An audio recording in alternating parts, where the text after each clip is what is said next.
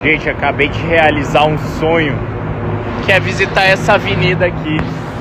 Poder tirar uma foto dessa aqui no meio de São Paulo. Olha lá como é lindo.